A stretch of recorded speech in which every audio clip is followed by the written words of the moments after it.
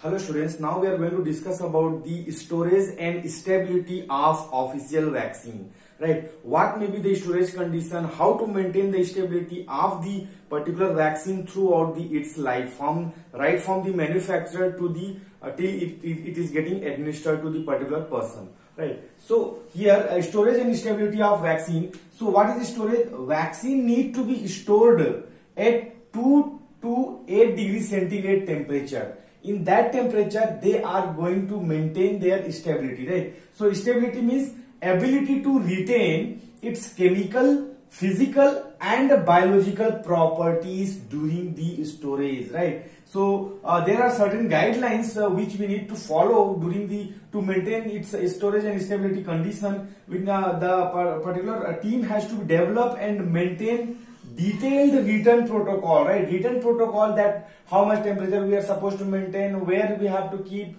what kind of vibration, transportation and uh, so on. On those points uh, has to be written and there will be the protocol to maintain. Assign the responsibility to one person only so that there should not be any confusion. The one person is going to be responsible that what has happened.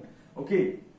Provide training on vaccine storage and handling. Those who are being assigned the, uh, the particular handling and transportation and uh, the conduct of the vaccines they have to be trained one and uh, that training has to be provided to them so that they can uh, uh, involve into the handling of the particular vaccines.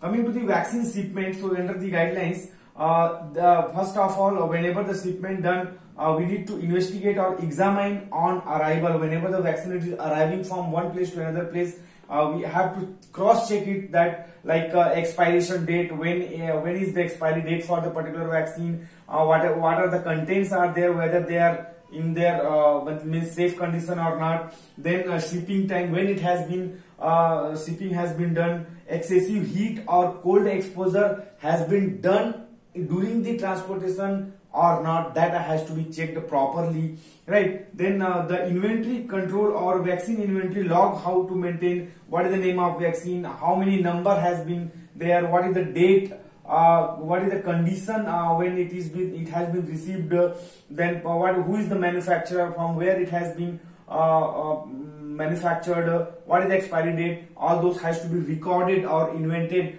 uh, that record has to be maintained right? So when we are storing those vaccines after arrival or from the manufacturer uh, storage requirement there are certain storage requirement we need to follow that maintain required temperature range all the time right? Say for example 2 to 8 degrees centigrade i told.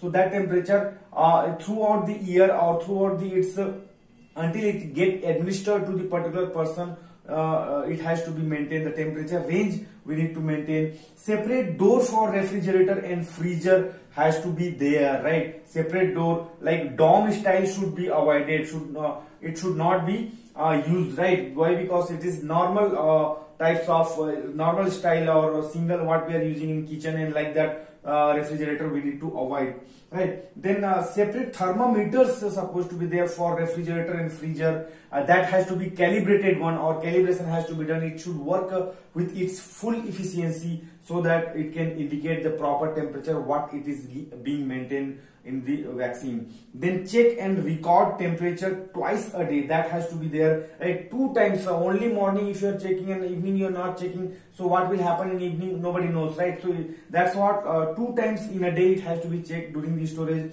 Then install the temperature alarm that whenever the temperature it is fluctuating like below 1 or above 8 degree centigrade the alarm should indicate you that the something goes wrong right. Then refrigerator for example in when we are using refrigerator you should maintain 2 to 8 degree centigrade. Freezer means uh, it should be minus 15 degree centigrade. So this is the temperature we are supposed to maintain during the storage of vaccine so that it can ab able to maintain its stability in chemical physical and biological point of view right? So that's what stability and storage condition of the vaccine it is very very important since these are the uh, microorganism products biological products living or dead microorganism we are using so that uh, if we are able to preserve them we, if we are able to store them in proper uh, condition with the by following the guidelines we can achieve the good immune response whenever it will be administered.